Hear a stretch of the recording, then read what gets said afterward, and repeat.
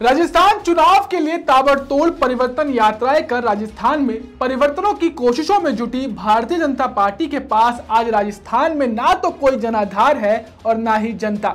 जी हाँ सीधे मुद्दे पर आए तो कल राजस्थान में भाजपा की परिवर्तन यात्राओं में प्रदेश के नेताओं द्वारा भीड़ नहीं जुटाने के चलते केंद्रीय गृह मंत्री अमित शाह भयंकर नाराज़ होकर वापस उल्टे पैर दिल्ली की ओर रवाना होते दिखाई दिए। खबर दोस्तों, एकदम पक्की और दैनिक भास्कर ने छापी है, जिसमें साफ़ तौर पर लिखा है कि संघ पदाधिकारियों से शाह की मीटिंग कैंसिल, गृह मंत्री और भाजपा अध्यक्ष नड्डा दिल्ली रवाना। परिवर्तन यात्राओं में कम भीड़ और गुटबाजी पर जताई नाराज़गी।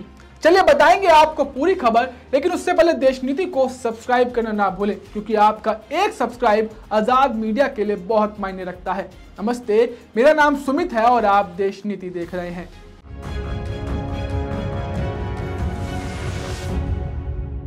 देश नीति केवल सच्ची और पक्की खबरें। आगामी पाँच विधानसभा चुनावों के लिए बीजेपी ने अपनी तैयारियाँ अभी से जमकर शुरू कर दी हैं। राजस्थान में बीजेपी परिवर्तन संकल्प यात्रा कर प्रदेश का चुनावी माहौल अपने खेमे में करना चाह रही है, जिसका शुभारंभ प्रधानमंत्री मोदी ने बीते दिनों जयपुर की रैलियों से कर दिया था लेकिन कल दिल्ली से राजस्थान आए पार्टी के अध्यक्ष जेपी नड्डा और होम मिनिस्टर अमित शाह को राजस्थान में भाजपा का असली हाल पता चल गया, जिसके चलते उन्होंने देर रात तक मीटिंग चलाई और परिवर्तन यात्राओं में कम भीड़ होने और गुटबाजी के चलते नाराज़गी जताते हुए अमित शाह ने अपनी संघ पदाधिकारियों के साथ होने वाली मीटिंग को कैंसिल किया और उसके बाद उल्टे पाँव दिल्ली के लिए रवाना हो गए। खबर है कि केंद्रीय गृह मंत्री अमित शाह, भाजपा के राष्ट्रीय अध्यक्ष जेपी नड्डा और राष्ट्रीय संगठन महामंत्री बी एन संतोष ने जयपुर के एक होटल में बुधवार देर रात तक कई बड़े बड़े नेताओं के साथ, प्रमुख नेताओं के साथ बैठक की। बताया जा रहा है कि नड्डा व शाह ने परिवर्तन यात्राओं में कई जगहों पर भीड़ नहीं जुटाने, नेताओं की आपसी गुटबाजी के चलते कई जगह स्थानीय नेताओं के विरोध जैसी घटनाओं पर अपनी नाराज़गी जताई। उन्होंने प्रदेश स्तर के नेताओं के बीच चल रही आपसी प्रतिस्पर्धा जैसे मुद्दों पर भी अपनी नेताओं को नसीहत दी। पहले रैलियों में हमें आधी से ज़्यादा खाली सीटें दिखाई दे रही थी, लेकिन अब तो भाजपा के नेता और मंत्री अपनी परिवर्तन रैलियों में भीड़ भी इकट्ठा नहीं कर पा रहे हैं। अब आप समझ सकते हैं कि अमित शाह का गुस्से में लाल होकर राजस्थान से वापस जाना भाजपा के लिए कितनी बड़ी खतरे की घंटी है।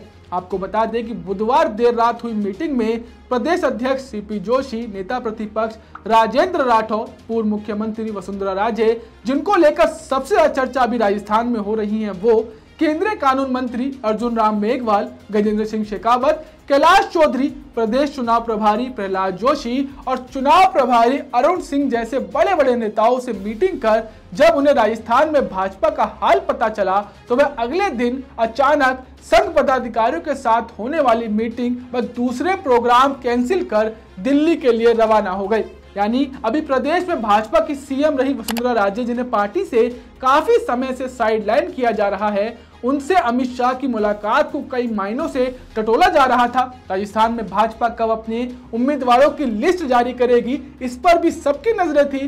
लेकिन जो कुछ बुधवार देर रात जयपुर होटल में हुआ, उसने फ़िलहाल पार्टी के चुनावी भविष्य पर बड़े सवाल खड़े कर दिए हैं। अब बेशक दोनों नेताओं की स्थानीय संघ के पदाधिकारियों से बात न करने और अपने प्रोग्राम कैंसिल करने जैसे कारणों पर अभी स्पष्टता नहीं दी है बीजेपी ने, लेकिन उससे पहले रैलियों में भीड़ को ना जुटाना, उसमें गुस्सा होकर वापस दिल्ली चले जाना सब कुछ साफ़ साफ़ बया कर रहा है। खैर, आप राजस्थान में हुए इस इवेंट को कैसे देखते हैं? हमें कमेंट कर ज़रूर बताएँ। साथ ही राजस्थान चुनाव से जुड़ी सारी अपडेट्स के लिए देश नीति को सब्सक्राइब करना ना भूलें। साथ ही अगर आप हमें फेसबुक पर देख रहे हैं तो हमारी इस वीडियो को जितना हो सके लाइक और शेयर कीजिए। मिलते हैं आपसे अगली वीडियो में। तब तक के लिए नमस्कार।